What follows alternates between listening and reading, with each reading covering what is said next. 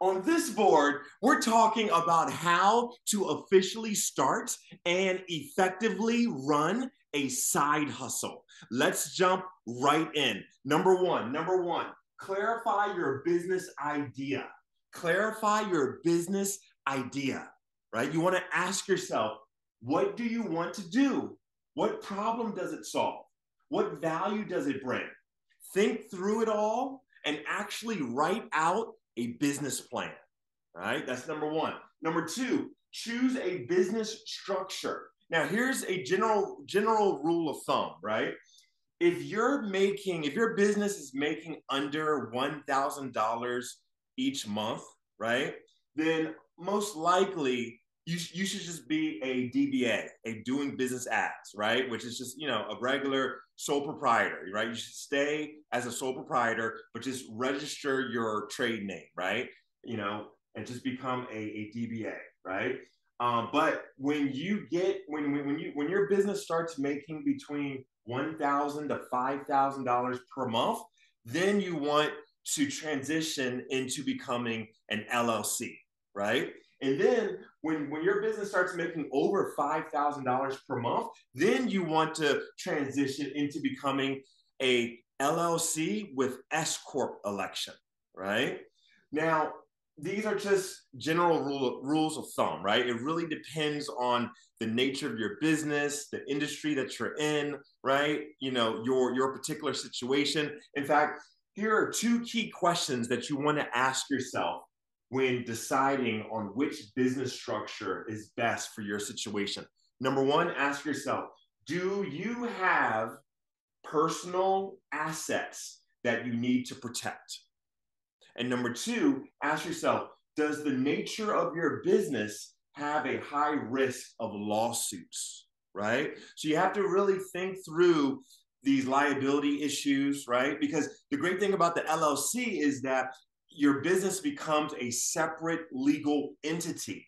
And so, therefore, if there's any like legal situations that come up, any lawsuits, then you know it, it would be a lawsuit against just the business, and your personal assets would be protected, right? But if you're just a sole proprietor and and you get involved in some type of lawsuit, then then you know they can really go after your personal assets, right? So there's things like that. There's there's different things like that you got to really think through.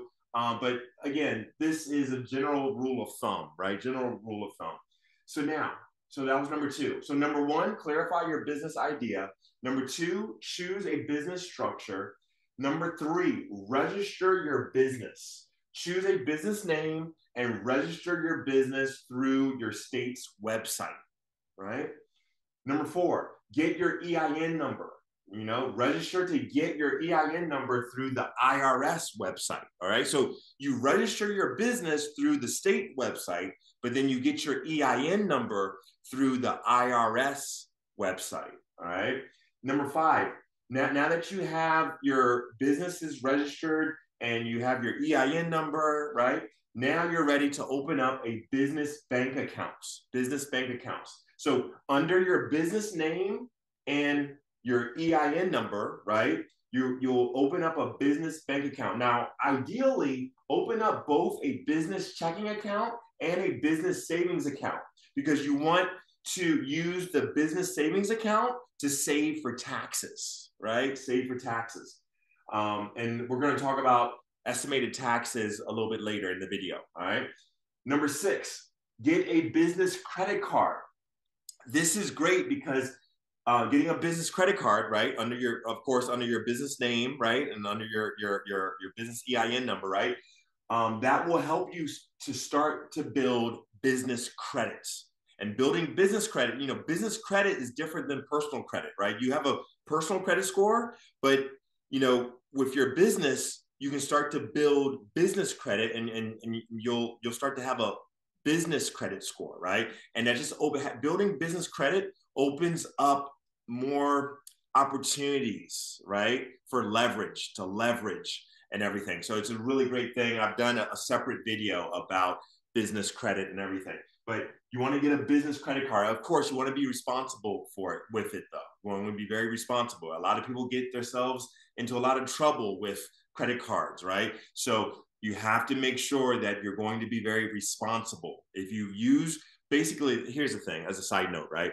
Credit cards can be a huge benefit or it could be a huge poison depending on how you use them, right? You want to use them wisely so that they will be a big benefit and not a poison, all right?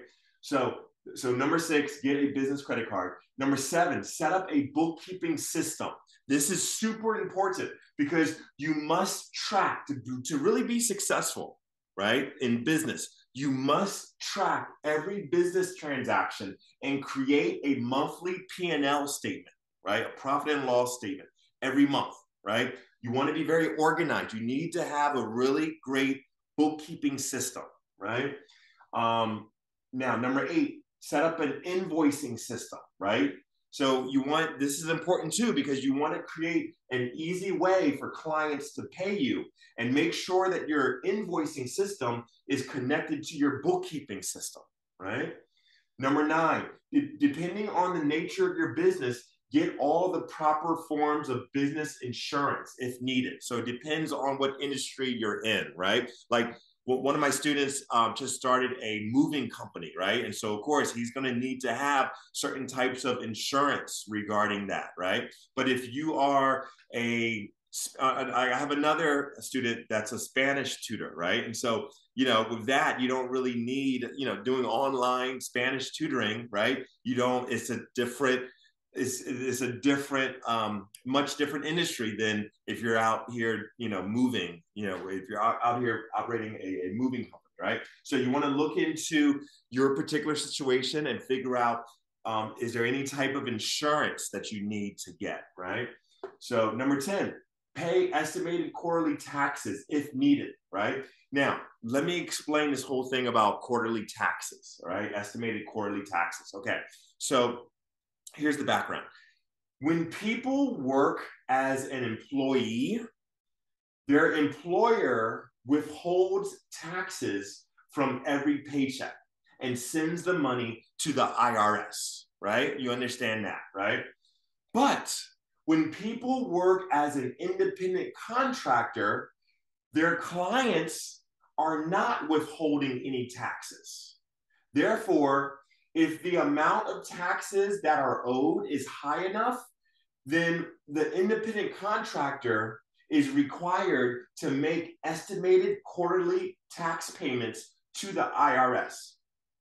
The due dates of the quarter of the due dates of the quarters are the 15th of April, July, September, and January. All right. Number 11, take advantage of all tax write offs, right? As a business owner, one of the benefits of being a business owner, right, is that you get the advantage of taking advantage of tax write offs, right?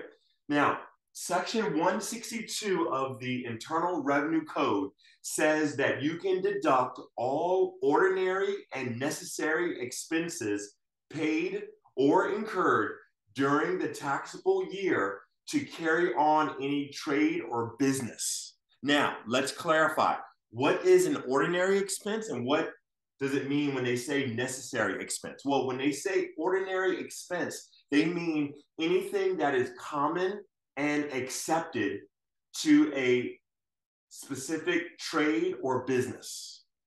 That's ordinary expense, right? Now, what do they mean when they say necessary expense?